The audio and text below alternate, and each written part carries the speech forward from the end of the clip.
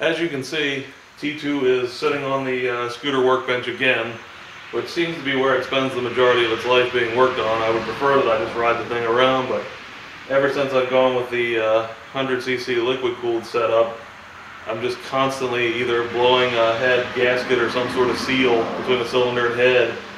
And I'm not exactly sure how the timing will go, but at some point I will do a video about the sealing issues that I've had with this thing. Um, don't know if that'll be before this video after. Not sure how to get edited, but anyway. Last time I rode this, uh, don't you probably can't see it, but it has filled up the uh, expansion tank and it started spitting coolant at me when I was going down the road. So clearly it's blown another seal. It's not sealing once again there. And it's now late August with car shows and bike shows at the beaches coming up in less than a month, actually about, I think, two to three weeks for the first bike show, and then the car shows are within about a month from now. So it's got me thinking if I can't get this thing straight to where I'm fairly confident I can make it to a car show, I should have a backup motor. So this video is basically going to be about making a backup engine for this scooter. Uh, just while I'm at it, I don't know that I've really said much about this on YouTube, so you may notice I've now got a different gas tank in the back here. That is a two and a half gallon spun aluminum gas tank. I took my original tank out because it had a leak and I just didn't feel like trying to fix it. I'd actually tried to JB weld it and that didn't seal it. And welding a used gas tank is kind of iffy, so I just decided to go this route.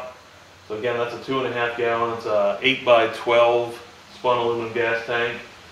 And when I was mounting that, I kind of stretched the frame a few inches out back just to make it fit and made this little storage compartment here out of metal because that's where my old gas tank used to sit. So now I can carry my oil around in here and it gives me a little bit more room under my seat. And here's just a little closer look. So that box is made out of 22 gauge steel. I just uh, made the pattern out and then bent it up so it would fit in the frame there. And then there's the gas tank.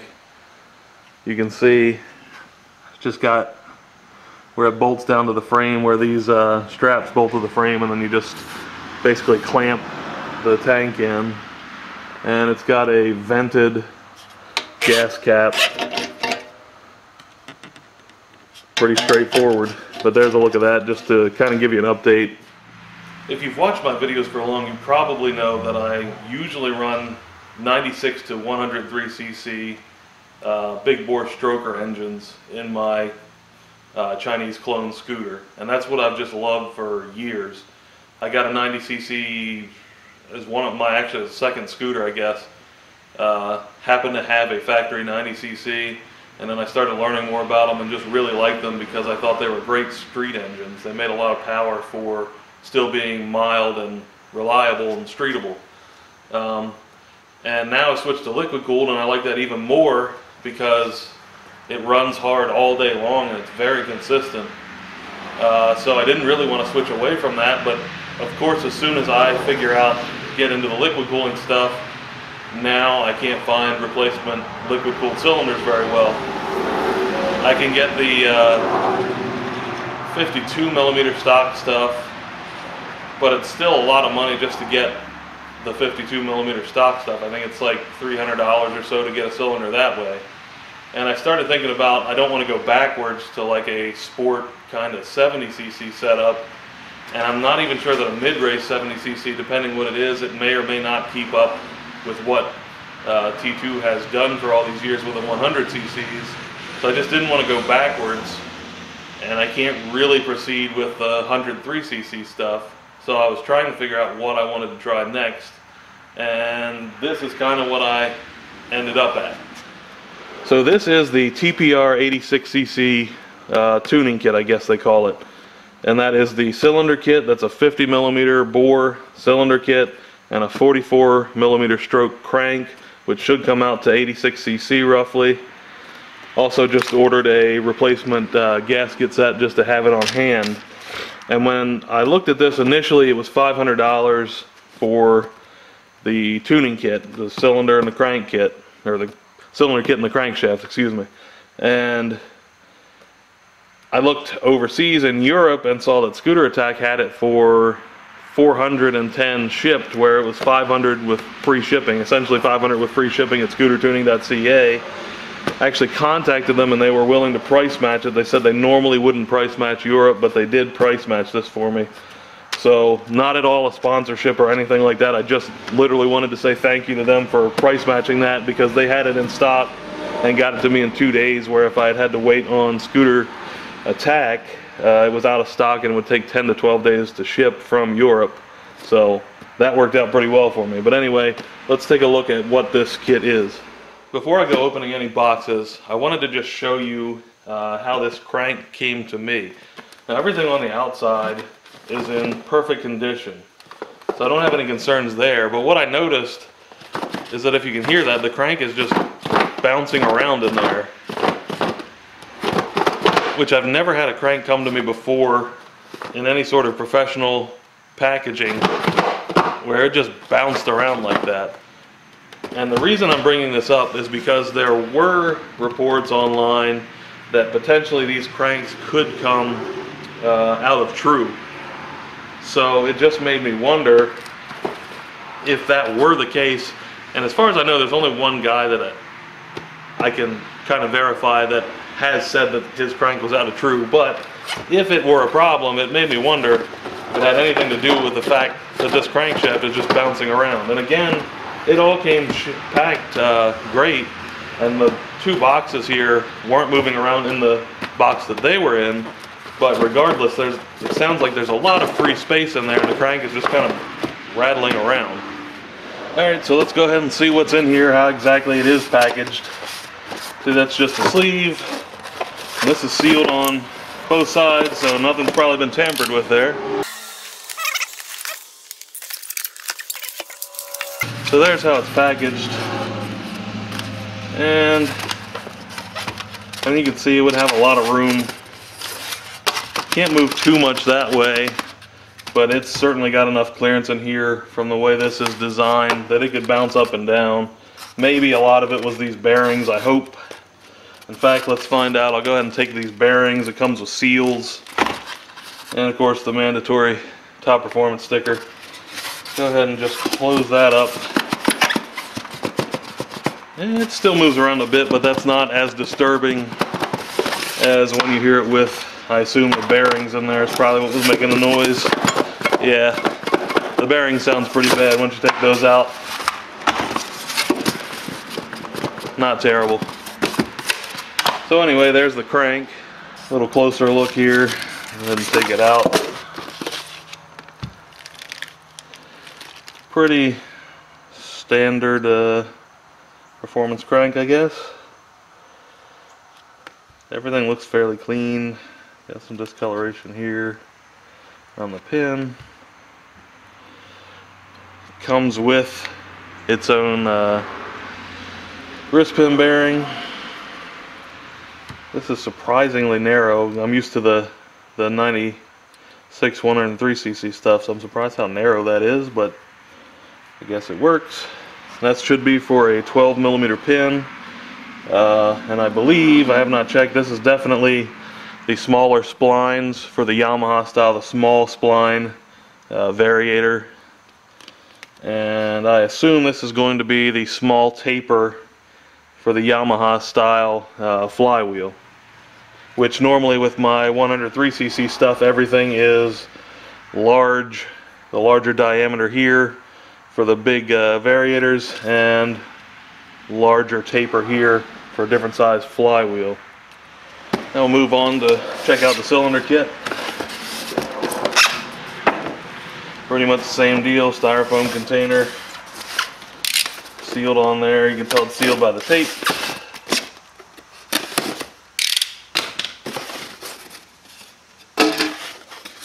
start out with a pretty hefty instruction manual here. Looks like multiple languages. But that's a bigger instruction manual. Well, I'm used to no instruction manual because I normally buy cheap Taiwan stuff, so that's much bigger than I'm used to, but yeah. Definitely has some kind of instructions with it, which we'll check out later, I'm sure. Got the gasket, kit, O-rings, all that stuff. Another sticker. I would assume this to be the piston.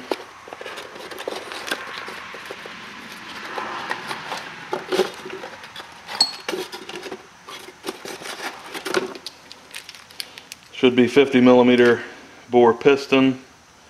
Uh, single ring, which is another thing I'm really not used to. Uh, I tend to stay away from that because I'm looking generally for the most streetable thing I can get. But it's kind of where I ended up. Comes with a wrist pin and the standard style circlips that don't have the ears on them, which seem to be the best for actually staying in the cylinder, not coming out and then scarring up everything, ruining the entire cylinder kit. So that's good. We've got brass, an either brass plug or a brass adapter, which I assume will go into the cylinder head that I'm about to pull out of here.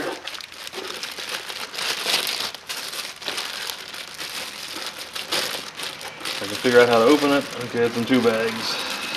No? Yes. So this is a two-piece or modular cylinder head, which is another thing that is new to me because I don't deal with high-end racing stuff. You can see combustion chamber is actually in this piece. That's where the spark plug mounts and everything. And then there's sort of the uh, outer piece. So those would mount together, something like that. Again, something that's totally new to me. I've never worked with one of those. Comes with cylinder studs. And then got the aluminum cylinder here. And once again, the aluminum cylinder is something I'm really not accustomed to because when I first got into scooters, I got an Airsal T6. I guess it's the extreme version that has the bridged exhaust port. And it burnt up, it burned a hole in the piston when I was, uh, actually my father rode the thing. He was following me and he came down a hill and was low on the throttle and it melted a hole right in the piston crown. And at that point I kind of gave up on aluminum cylinders because they didn't seem nearly as durable as what I was getting out of uh, the iron kits. The iron kits were more prone to soft seize and if they did suffer some kind of minor damage to the cylinder, then usually I could just give them a quick hone and maybe a new set of rings, piston, whatever, and be back on the road. Where that one, it doesn't always happen, but that one actually had uh, aluminum melt in and tear up the Nikasil, uh, the coating that they use on these aluminum cylinders to harden them. And so at that point I kind of just gave up and that has been like, I don't even know, it's been more than 10 years ago, and I've never touched an aluminum cylinder since. So this is another thing that uh, is at least mildly troubling to me of how quick I'm going to burn this up. So if I can get you a look in here, you can see that this thing has a very large bridged exhaust port. This is much larger than what I'm used to with just the uh, single exhaust port or some of mine have the uh, auxiliary exhaust ports, but this is huge compared to those, very wide chord width here. And then if you can see on the other side, again, very large port there. A lot of port area. And there's a look, you can see the boost port down here. It's kind of a split boost port in the back. And then you get two transfer ports on each side there of the boost port. If I can get the in the camera, there we go fairly large, a lot better looking stuff than I'm used to seeing in uh, my cheap Taiwan stuff. Again, like pretty much my entire two-stroke career, I've dealt with cheap Taiwan kits. I've used like Polini uh, cast bores and stuff like that, but most of my scooting has been done with cheap Taiwan-made cylinder kits. So this is like way clean to me very nice port layouts compared to what I'm used to. The other thing I guess I should point out here, hopefully you can see this. You can actually see because the light hits it a little different that the uh, bridge here of the exhaust port has been ground back or whatever they do there. So it sits back, it's recessed a little versus the uh, rest of the cylinder bore because that area will get very hot. There'll be a lot of expansion in that area and that's to try and keep it from seizing up. I don't know that this will show up very well on the video, but this is the exhaust port area here, the exhaust outlet, and it appears that they have made an effort to make sure that coolant can get all the way around and surround that exhaust port. And you may actually be able to see it better to get the idea on the outside. You can see that the coolant passage is kind of made to run all the way around here and cool the exhaust port better, which again is something I don't normally see on my cheap cast uh, kits.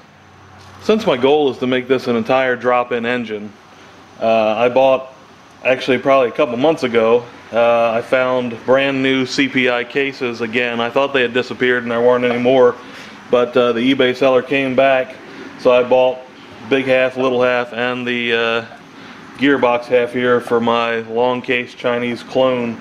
And these are all uh, right from CPI as they're marked there. So I could kind of start fresh on that whole deal. I just don't have the budget to do an entire uh, second overrange transmission and change all my ignition components and everything else. But at least I figured if I could get the gearbox and the engine itself together, it wouldn't be a whole lot of trouble to just drop in the scooter if something happens to my 103cc or vice versa. So that's just a quick look at it. Um, again, just my first impressions because I'm really not used to these hyper racing kits or even aluminum kits. Um, you'll see a lot more about it as the video goes on and I set things up. You'll kind of see how it all works and this is probably going to be about as much of a learning experience for me as it is for anybody else at this point.